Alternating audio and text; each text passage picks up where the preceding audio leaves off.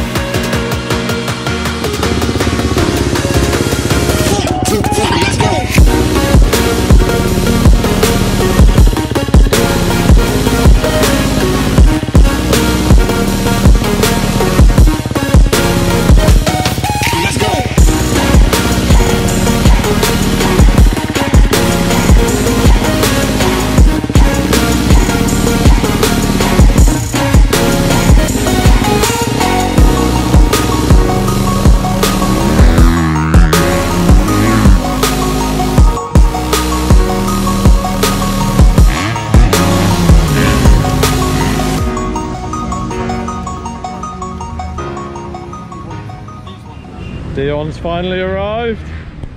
Better late than never.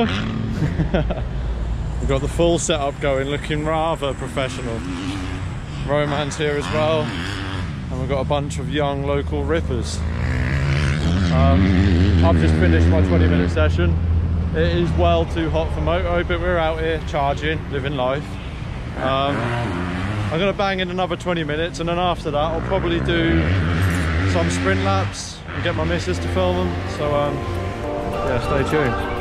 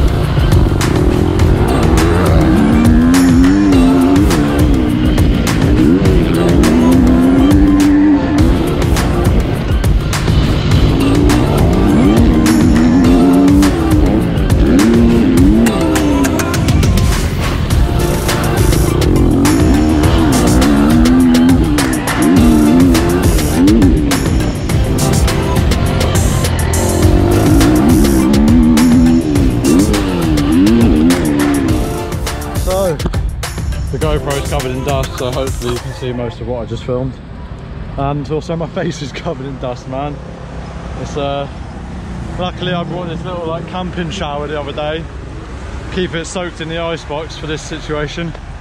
Um, but yeah, that was mad fun. I dropped about a second off my lap, uh, purely just going for sprint speed, and then had a little battle with one of the lads here. So um, yeah, sick, man. Good fun. Anyway, I'm gonna take a quick shower and then chill out before my next moto. Let's go.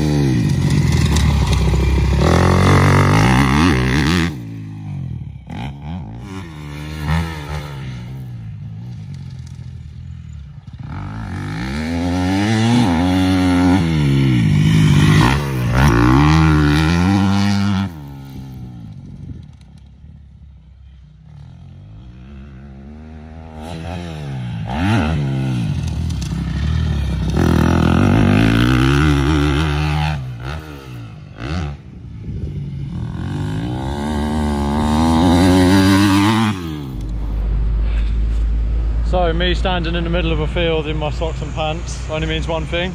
That's the end of the video and the end of my day's training. I've done two motos of 20 minutes and then I've done two motos of 10 to 8 minutes length just sprinting.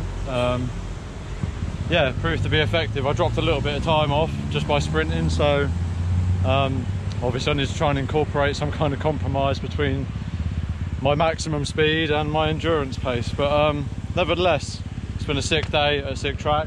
Once again thanks to Dion for helping out. Thanks to my girlfriend she's in there for getting the videos. And thanks for you guys for watching. Nice one stay tuned